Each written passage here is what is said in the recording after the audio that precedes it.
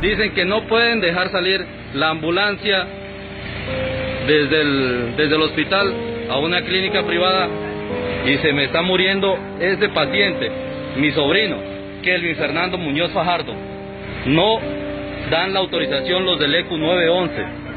Estoy aquí en el, en el hospital Marco Vinicio Isa. El otro caso es del señor Kevin Fernando Muñoz, eh, es un trabajador de las cabañas Caimán eh, del sector de Cuyabeno, eh, quien había ingerido, tenemos conocimiento, sustancias químicas, tal vez veneno, quien fue trasladado oportunamente hacia el hospital Marco Vinicio Isa, donde le habían tratado, pero su cuadro había sido un poco crítico, entonces lamentablemente estaríamos hablando de un suicidio las motivaciones, las que conocemos al momento, tendría un cuadro depresivo debido a situaciones laborales y sentimentales. Lamentablemente es un caso que primero hay que explicar la parte técnica. Les voy a explicar rápidamente para cuál es un veneno, es un veneno altamente mortal.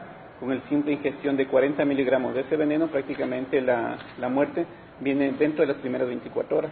Los muchachos no saben exactamente cuánto se tomó, pero por el cuadro clínico que tenía, evidentemente la mortalidad era demasiadamente o extremadamente alta con relación al video que usted está mencionando, que no se lo permitió sacar del hospital. No es que no se lo permitió sacar, lo que pasa es que dentro del Ministerio de Salud Pública nosotros guardamos ciertos protocolos con relación a la atención, tanto para la movilización, para el transporte y para la recepción de pacientes. En este caso hubo quizás un una falta de coordinación con relación a qué tipo de ambulancia se debe utilizar. Se quiso movilizar un tipo de ambulancia el cual no estaba acorde al estado del paciente y se coordinó una segunda ambulancia, pero sin embargo, ante la premura de los familiares, con justa razón, decidieron llevárselo por su cuenta y no esperar una respuesta eh, inmediata de parte del ECO, que fue el, eh, que fue el principal problema. De 10 miligramos de paraquat, el índice de supervivencia es de menos del 50%. Más de 20 miligramos, estamos hablando de una muerte elevada. Y más de 40 miligramos de ingestión de paraquat, prácticamente en menos de 24 horas porque la acción principal es veneno final de pulmonar a nivel del riñón y a partir del hepato. Y fundamentalmente el paciente muere por una insuficiencia hepática fulminante. Un tema también que, debemos también como ciudadanos difundir un poco y, el tema de la valoración a cada uno de nosotros, ¿no? No atentemos contra, contra nuestras vidas, es, es algo que, que, que nos lleva a un cuadro preocupante y que también tendríamos que manejar por parte de seguridad conjuntamente con Policía Nacional, con Salud, para luchar contra eso.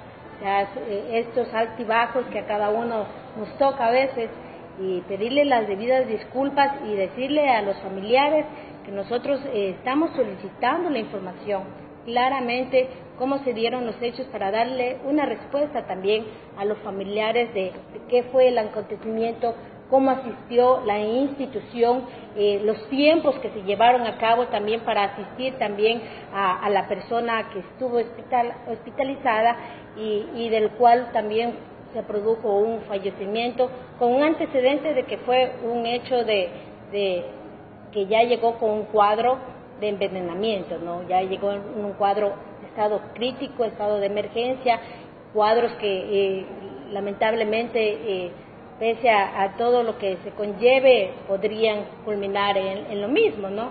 Entonces, eh, garantizarle a la, a, la, a la familia que estamos en esa búsqueda de la información, nos solidarizamos con ellos profundamente y estamos para brindarles una respuesta ante los hechos que ellos piden, esa respuesta también eh, eh, que se esclarezcan los motivos, los tiempos.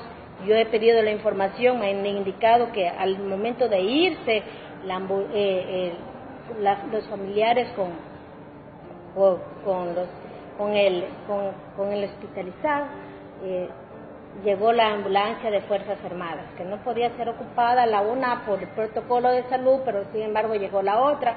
Bueno, ese es un hecho que daremos la información claramente de acuerdo a los informes que nos pasen por parte del Ministerio de Salud Pública, por parte de la Administración del Hospital Marco Municio Isa, como también por parte del ECU 911, al cual nosotros hemos solicitado los informes correspondientes para poder esclarecer estos temas.